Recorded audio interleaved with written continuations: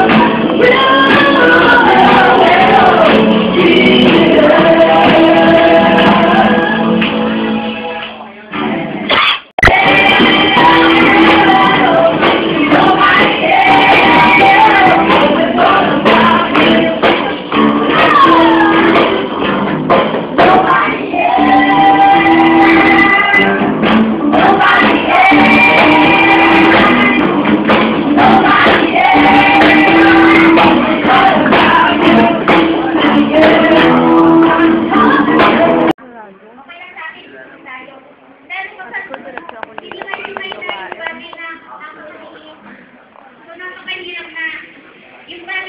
pag-react mo wala, eh, things na yung sa'yo.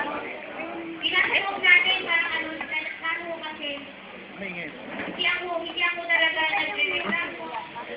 Pag pinuusan ako, nagsusunod talaga ako agad. Pero ngayon, parang kumapala talaga yung sa loob ko. Minsan naman ako talaga phone. Pero hindi ko alam, natutulog yan sa loob natin. Kailangan din natin yan. Maging aware tayo. Maging aware tayo mo kasi i-blame natin tayo sa loob natin. Amen. Wala. Amen. Human nature sa loob natin kung hindi, kung hindi yan mababasag, kung hindi ka magigisigan, mananatili yan sa'yo, hindi ka magpo-progress. So, Amen. kailangan pala, ito ay sinasabi na kailangan mag-grow yung heart mo. Laging grow yung heart mo para mag pumunta ka dun sa ano, sa progresibo na dapat mong gagawin. Tapos, ah, naano ko rin yung ano yung dun sa house chores. Ngayon ko lang pinaintindihan ang house chores na mahalaga pala, bata pa lang i-train ko na yung anak mo. Kasi, Saan? Huwag kang maganyan. kasi delay-delay mo ka, parang walang mangyayari sa'yo eh. Like, sa wali sila. So, kailangan habang maaga ka, i-ano mo na yung anak mo. Ah, ngayon po, ah, si, si Joshua, regular na siya na, siya na yung tagahugas ko ng plato. So, nakakagaan sa akin. Maliit na bagay pa lang yun na sinunod ko. May ginawa na sa akin. Tapos yung naman ko, di ba, yung sa pagdalaga, kaya pala ng bata na gawin yun. So, ano lang yung, ano natin. So, yung, i-ano ko lang po sa inyo, yung, yung lakas natin na yan, kailangan ko talaga basahin. Magbabasag yan kapag nagpapalit ko kayo. Kasi hindi, hindi yung basta-basta magbabasag yan. Hindi, hindi basta-basta lalabas yan. Kasi yung nasa loob natin para sa Kailangan muna, maano, kailangan muna lumabas yan. Lumabas lahat. Para magawa mo yung dapat na gagawin. So, yun lang po yung gusto kong i-testimony na Papasalamat ako kasi may mga bagay na narinig ako na na yung instruction, akala ko tama na pero hindi pala. So lahat yung sarili yung party ko, pati yung pag-ano kay Bebe, kay Joshua, sarili yung party yun, pati yung kung school na ginagawa ko, yung dapat na gagawin, ano, pati sa puso ko, bakasyon, di ba? Gusto magbakasyon mo, eh, magpahinga yung physical na katawan ko. Pero hindi pala yun, kung hindi mo sitahan ba yun, hindi mo kaya gawin yan. So, kailangan dapat magpukita ka na. Huwag mo na i-delay kasi yung kaaway na ito lang lagi na dapat sa iyo. Ayaw ka nang mag, mag, ano, mag forward. Gusto niya lagi kang, ano, lagi kang nasa likod. So, alam niyo po yung dahilan. Di ba marami tayong dahilan na lagi? Marami tayong excuse sa atin. Lahat binibigay sa atin na excuses. Hindi niyo po alam ano po ba na yan. Uh, Diablo ang nagbibigay na yan. Lahat ng excuses natin against dun sa word of God, just yan. Kaya dapat maging aware kayo doon. Dapat uh, maintindihan yung bagay na yun na huwag yung ano, huwag yung Ano ba yung topic? yung baby sa loob nyo, nalali kayong may dahilan. So, dapat mag-forward kayo. So, yun lang po yung ano. Tapos na na? Siyempre ako lang bumigya ito. Ngayon, may iwanan ko yung ating mga anak. Ah, Maingay po, hindi marinig. at sila nag-aaral dito sa eskwelahan. Siyempre, anak ko marami. Yung isa. Naririnig po Yung sa mga record. kong anak ng edad ngayon ay nasa 27, 20, 29 na yung panganay ko. Sa eskwelahan ka nagpumpisa ang mabasada. So, maraming sabi ko? Ano sabi ko? bahayag tungkol sa dapat Hindi ka na, wag hindi ka na mag mas barkada sa eskwelahan yung programang pabasa at uh, daming dapat gawin. Pero hindi siya nakapag. So, na ang makaram, hindi ang pag-aaral ng bata. Pero, ang nangyari, mas magaling mag-convert yung mga unbeliever na. So, that's what my saddest point. Ah, yung aking panganay ang ako ng guide. So, tuloy-tuloy yan, yung iba naman nagtagumpay, konti. Ah, kasi na nakapag-asawa na, yan nga yung. Pero nung yung teenager na ron, na Mag-share lang ako may na-discover ka. Sound study. Iiwanan ko kailangan rin sa mabigat na tayo sa akin. Isama mo na yung anak mo at itigil mo muna. Na. Dahil ka tama na So marami dito, actually, uh, aminin man nila hindi, na pero ang nagdadala, kasi sabihin lagi umatin sa church. Yung puso, pwedeng magpupuri, pwedeng magaling mag-share, pero yung kanilang puso, Malayo. nandun sa sanlibutan. Amen. nasa barkada sa school. They are just a Christian within the friends of the church. Pero pagdating doon sa labas na, hindi na siya Kristiyano, mas ma ang believer. So, ginawa ko, tinalapat, tinigil ko siya. Tinigil ko ng two years na pag-aaral. So, parang lagi ko number one, ang aking sarili. Number two ay ang aking asawa. Number three ay ang aking kamag-anak at mga iba ko, iba ko. Sabi nga ng kong anak, kami ganun pa, hindi mo sila pag-aaral sa buhay na may yung sila. Kawawa naman. Sa. Ano yan sila kakain, ano yan buhay. Ah, hirap na nga ng buhay natin.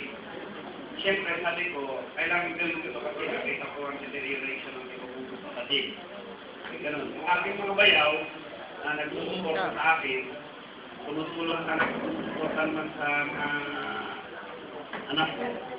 Isa sa bater, siyempre, ang kampi ng mga kapag-anak, nag-iisa lang ako. Pero kailangan gawin ko, no? Ano sila sa Quezon, doon ako tumira. At kasama ko sila sa ministry, sila yung ginamit ko ng magbabasa sa bawat bahay. So yun ang kanilang assignment. Pumapasok pa rin sila sa school. Pero habang tuma, ah, hindi ko pala, natigil sila ng two years. Then, pinagpupulit sa school. Pero habang nag, pumapasok sa eskwelahan, nakikita ko yung deterioration. Dahil probinsya siya. Ah, minsan, gagamitin, no, nagamit sila sa fishing, laban sila ng mga eskwelahan, ah, mga student, magandang pakinggan. Pantay, gusto ko ipaturo sa inyo. Apat na beses akong umakit sa state, apat na bata. Lahat sila, may ano, first honor, second honor, third honor, second honor. Pero magandang pakinggan, pakinggan. Kakarelak. So, uh, yan lang ang kulay So, ngayon, ah, itong mga siguro mga ago, dumating na itong ano na itigil ko na sa school na totally homeschool na. So, nakikita ko, hello, makinig kayo mabuti ha. Amen. Ang unang kapliran, paano na naman ang buhay ng bata? Hindi naman kinikilala ng, baka hindi kilalanin, anong tatag ang bata, kung nakagraduate ng, ng DLS, DEPT, baka hindi tanggapin yan. So walang katapusan kapliran. Amen. Ako mismo, nag-hesitate ako, pero sa isip ko, hindi naman hanap buhay ang malaga nag-graduate eh. Kasi realidad, marami ang nakagraduate sa school ngayon at makaganda ang, class, ang trabaho. Ngayon, wala na rin sa church. Yes. So, hindi totoo, nakawawa yung bata, mas kawawa. Ang napansin ko ito, medyo baliktad itong pagsikan mo ito. Yung medyo mas maganda ang, yung ang hanap buhay. Hindi sandal ka na. Yung maganda ang hanap buhay, laging wala sa church. Amen. Maganda, nagugutom. Amen. Nahanap- Alam mo, nakita kami ba sa dating ni Brother Branham? Nung isang araw, sabi niya, mabuti yung mahirap ka. Mas maglilingkod ka pa sa Diyos. Pag yumaman ka, kalilimutan mo ang Diyos, sabi ni Brother Branham. Amen.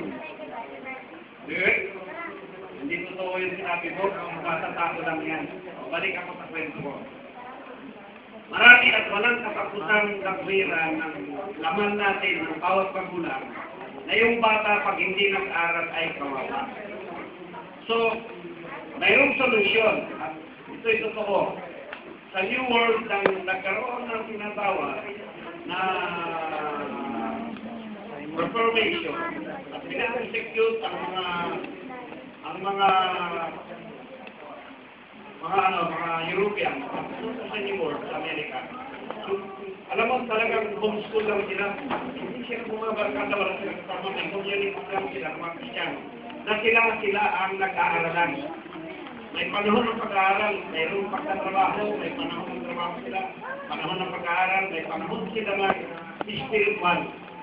Actually, yan ang nakikita ko na dapat na maging community natin, mga time na kapatid. Ah, So, ngayon, break tayo. So, I have decided, medyo struggle ito, pero naintindihan ng aking asawa, number one po ako ng kanya, asawa ko, kapatid ko, bayaw ko, kamag-anak ko. Gusto ko na iba kong anak, at sinusuportahan nila ako ngayon na i-homeschool yung mga bata. So, nitong mga nakaraan, biglaan lang, ang linggo lang sila nag-video, ah, nag-text kahapon yung teacher, dapat si Oyang kasama siya sa nag-ALS, ay nag-ano eh, yung ALS, ALS. PPP. Sa PEPT, dapat kasama siya kasi siya ang gusto nung teacher, ay umalis siya. Dumating yung ano, nag-text kahapon na from grade 4, biglang, ano si, si Mima, First year. first year siya ngayon. Amen. Uh, praise the Lord. Ko sa inyo, kaya pinakito ito, mga magulang, huwag kayong matapos kahit natututo. Libre itong programa ng gobyerno at ito totoo. Ah, gusto ko ipakita ang makapadaya. One time, si Mima, eh siyempre, si Kumaka sinusunod walang lalaking nagsusunod. Pero masusunod din niya ng lalaki pag nagtagan. Paikot-ikot siyempre sa labas ng bahay, kagandahan, kalitaw sa school.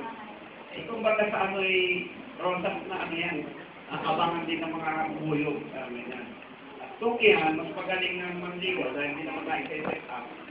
Mas magaling manligaw ang manlilider kaysa sa milider. Tapos wala ka, eh nagkakagusto rin sila yung babae. Hahanap din yan, ay mas magaling umano yung unbeliever. Wala kang tinatawag Abraham sa Ang siyempre, magaling. Ngayon ganito, ah, one nagtataka ko, di umaga pumupunta sila nitong magagraduation na or recognition day. Hindi ko na sila pinakyan ng state actually nitong nakaraan. Siya with ang first honor, yung mga dalawa, tapos, ah, ah, kasi hindi sa akin hindi na malaki yan. Paalam na lang sa teacher. Ngayon, um, nagtataka ako, di umaga, gamit-gamit yung isang cellphone. Nandun sila, narinig, narinig ako worldly music. Ano yan? Wala, practice lang sa school. Sabi ka lang. Siyempre, tiwala lang ako. Sa amin, kasi mabait naman. Aba, nabalitaan ko na lamang, yung pala, hindi man na nagtuturo ng sayo, tungkol sa mga kaklase sa school, tutos daw ng teacher. Ay, pinatigil ko. Pero hindi ko alam yan, siyempre, hindi rin alam ng teacher yan. Nabawal yun. Ang alam lang niya, dahil paborito niya yung bata, at magaling, masunurin sa kanya, eh natusan na pumunta ron para pagturuin ng sayo. Kaya pala ako may word with music. Yung cellphone, yung pala ano. Nakita niyo, ako mismo, hindi, hindi ko iniisip, hindi ko iniisip na masama siya, na bawal. Siyempre, kung ako sa school, sinusunod siya, pag inutusan niya sa klase niya, sunod sa kanya, bilang leader. So, isa yung kaparang daya. Ako naman bilang, kalulog ko parang ang proud, bilang magulang. Ang yat ka sa isip. Ang medalya na nakaraan, walo. Parang ang proud ko, so, ito, pero madaya siya. Madaya sa salit sa inyo. Parang tuwa-tuwa ang hinahanga sa school fair. Yung deterioration mga delivery sa anak niyo. Tatandaan nyo. Ako ngayon, ah, mas pagsisikapan ko sa tulong ng Panginoon. Ang ano ko ngayon, tuloy-tuloy, binili ako ng mga books ng sa PEPT. Regular yung aking ginagawa pag-aaral. At gagawin ko, babalik kami ng lesson sa aming Saturday. Rigid. Mayroon pa akong isang patotoo. Yung aming 14 years old, na kilala niyo si Sister Lucy, di ba? Nung una akong mag-mission doon, maliit lang siya. Pero tuloy-tuloy yung kanyang pag-attend. Number one ang nanghaharap sa kanya ang kanyang magulang. Na huwag kumaten sa gawain. Ano, ang ginawa niya, sali lang siya, kasama-sama sa papa sa record. Ah, to make it long story short, alam niyo bang yung tatay at nanay niya na masungit sa akin na yung kapatid sa bahay, nagpapag na. Talagang natin. At matanda na yun, ha, 70s na. Kahit ganun ang mata nila, sa tanghali sila nagpapapa sa report. Pati yung kapatid niya ngayon, na pipi, nagpabautismo na, at magpapakasal, hinihintay lang ako. Nag-LCN din, pipi rin ng LCN, sabi ko hindi ka pwede mag-LCN pag hindi nagpabautismo. Ang sabi ayaw ko pag hindi, niya, ah, hindi ko talaga siya uh, makakasalan pag hindi siya nagpabautismo. Kasi ako magagalit sa iyo pag hindi mo kinabautismohan. Kailangan Kristiyano rin ang mga pangasawa. Sige. Yeah. So ito si Lucy, ah, siya ang ginagamit ngayon na mag, ano siya, na, ano siya, ng At noong panahon mga 3 years or 4 years wala nang hindi na siya mapag-aral ng kanyang magulang. Pero pakinggan niyo ito mabuti ha. Ngayon, siyempre may message na homeschool na lang, ito na i-elect, hindi ko na masyadong pinapansin. Ngayon, si Brother George, siyempre, hindi na naintindihan kami din siya mag-aaral. Natigil ng second year high school, sabi ko, dalawa ka ng pangpaaral. Kasi tinutulong ko na mag, may pamasahe. Eh nung natigil, sabi ni Brother George, sige, sasagutin ko yung Sunday ko para makagraduate lang ng makatapos lang ng second year. Eh hindi na tinuloy. Tigil siya. Doon dumating ito kay Ele, pasok siya ngayon, nag-enroll. Nung maka-enroll siya ng ELE, nakagraduate siya agad ng fourth year. Ngayon, pag-usapan natin yung kanyang knowledge. Kung itatapat mo siya dun sa mga nakagraduate o kaya mga second year, third year college, lang hindi, hindi obra sa kanya. Alam mo, sekreto lang niya. Basa lang siya ng basa. Tanong lang siya ng tanong kahit English. Pag may narinig siya, susulat niya, hindi pa lang, tanong lang siya. Ano po ibig sabihin ng ganito? Ano po ibig sabihin? Bakit ganito yan? Hindi totoo iskol. Examine niyo ang anak niyo mismo. Mga tanungan natin mga magulang. Examine niyo impromptu ng mga anak niyo. Doon sa pinag-aralan sa school kung may maitapag sa inyo. Then saka niyo sabihin, totoo bang natuto sa school yung mga anak niyo? Or either, i-homeschool mo, magpatulong ka sa kapatiran kung mahinga ka, o kayong mag-asawa, kasi kayo matututo eh. This coming year, meron akong maano ngayon, yung si Johnson. Sa magiging finest na kabataan na nakita ko. Itong magulang na to, si Sister Josephine, gusto ko ipatuturo sa inyo ha. Since nang tumanggap siya, 2001, ng blessing, hindi ko pa naranasan sumagot sa ng laban sa mensayan. Pag sinabi yung, magpabasa ka gabi-gabi, opo. Lahat ng, naalala niyo yung batang nag-recite ng halos basic si Brother Branham, minimemorya niya ng kalating oras. Naalala niyo yan? Pamangkin niya yun. Nawala na lang, nagsugal siya ng lugar. Pero yung kapatid na yun, may bunso siyang anak. Yung bata, ang galing din niyang magkaroon. Record, nasanay siya. Yung nanay ang lagi kasama, hindi siya nagmamarkada. So, this, ano sabi ko, itong susunod na taon eh, maganda, maganda yung kami sa ano. So, hopefully, mga magulang, kaya sinasabi ito, ano nyo, ah, mag-desisyon kayo sa puso na inyo dito. Safety na doon. Otherwise, nakalik sa inyo, ang una yung magiging problema, yung awa ng sanlibutan. Huwag nyo nang isugan. Ako na mismo nagsasabi nyo, huwag nyo nang isugan. Otherwise, yung dinaanan kong problema, hanggang eh, pinagsisisihan ko pa, at hindi ko na pwedeng ibalik. Daladala ko pa hanggang ngayon. Yung dinaanan kong problema, kung mahawakan ako, oo. Yung dinaanan kong problema, ganito, huwag nyo nang i, parang adventure na daanan. Amen. Walang tsamba to na sasabihin, eh, nangyari yan sa'yo. Hindi mangyayari yan sa anak ko. Yung kaway, tatanda nyo sisirain. Amen. Hanggang sa ibubo kayo na ayaw niya na pating kumatin. At yan yung nakikita ko sa mga pamilya ngayon. Kaya parang kahigiya kumatin dito. Dahil nagkaroon ng deterioration yung kanilang mga anak. Natakumpisa yan. Dahil pati nuruan ni Brother Francis ng hukum. na nagturo ka ng dapat homeschool, dapat magkakagawa. Doon ko sa likod niya, doon ko sa likod O niya. tinuruan ng kaklase ng sanlibutan ng teacher. Alam mo yung teacher mismo, sa bahay. Maganda sinasabi niya. Alam mo, tinuturo yung sigaw-sigaw ng mga kaklase. Punta ka sa likod niya. Para isi-shortcut niya. Yung teacher mismo ang nagpo-propose ng LPM na manito. Punta ka sa likod niya. Baliktad. Normal yan. O, punta ka sa likod niya. Tapos na siya eh. Dapat dinormal yan sa O, punta ka na, punta ka na. saan mangyayari yan? Sa school. Ulitin ko ha, hindi, huwag kayong makipagkapalaran sa sambahan. Huwag kayong makipagsambahan sa sitwasyon. Sige. Totoo ang homeschool. Iipin niyo walang gastos. Walang masyadong gastos. Kaya po, ang, ang aking target this, ano, this coming Death June, iikot ko na sila sa iba-ibang design. Ikot ko na. Magpaano na kay Brother Joel, for that moment. Mag-ikot ko sila, ilang araw, tayo. Mag-ano, iyan ko lang, iyan ko lang yung iipin nila lahat kaya tapos.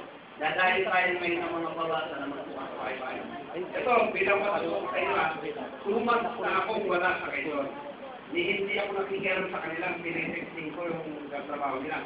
Ang dami nila ngayong nako-convert to para sa report lang. Wala ako ha. Totally, hindi ko sila tinatawagan. Nagre-report lang sila kung ano nangyayari. Pero anong, anong kaganapan ngayon? Anda, may mga nag-text sa akin, kami po yung bagong ang asin yan. May pabasa na po kami, yung mga anak ko, tinuturuan ko na ng PCP, ang booklet po namin hawak ay ganito, ang printing po ng linggo ay ganito. Ganun sila. Abay, di si brother, pag walang ano, pagsilusin, puro lang. Hindi pinag-uusapan kung babae o lalaki ang tumayo. Ang importante na share Hindi ito bakit na, bawal yung babae. Ang turo ka kung ano kayo yung turo. Hawakan mo nga. Ako na mag-interrupt. Ito yung cellphone ko, nagre-report yung mga tao pa rin doon. Tinignan ko lang kung ano yung bunga nung ginawa kong limang taon na medyo sinundan ko. Hindi pa 100% na sinunod ko yung mensahe ng ko. Kahit sa progressive ministry, bilang patutuo ko yan ha, bilang patutuo. Ngayon, ang nire-record ko ngayon yung mga bumagsak na mga medyo nang hinang mga mga kapatiran, yung mga convert natin doon na nagsipag trabaho, isa sa isa kailang ma-source ko. May kinayo na sa akin si Brother Francis niyan ano nga dapat ko yung mga nagtatrabaho na ngayon. Kasi hindi maiwasan, sa hirap ng buhay, kailangan magtrabaho rin sila. Paano itutuloy yan? Hindi ba ma-attend na sa ibang mensahe? Pero paano? At nakikita niyo naman yan pag ministerial meeting nandito sila. Amen. Di ba? Isa yan sa nakikita ko, Lord, totoo yung mensahe ko kailangan ko, di ba? Sa, sa tulad ko, ah, siyempre, ako'y nagpapasto na, ilang, bali, bali tatlong church yung hawak ko. Pero nakita niyo, may ani. Amen. Sila regular na umaattend dito. Yung mga na-convert doon. Mas masipag pa nga yung mga taga roon kaysa rito eh. Oh. From Quezon, 360 kilometers. Dito, isang kilometro lang, hindi nakakaten sa ministerial meeting sa ganito. Yung taga Quezon, regular. 360 kilometers away. Amen. Na. Bali yung San Pablo. Tapos yung Marparo. Saka yung Mageros. Okay. Kasi yung kay Brother Nardi, naging informal na yun yung. Ano po? Ano po?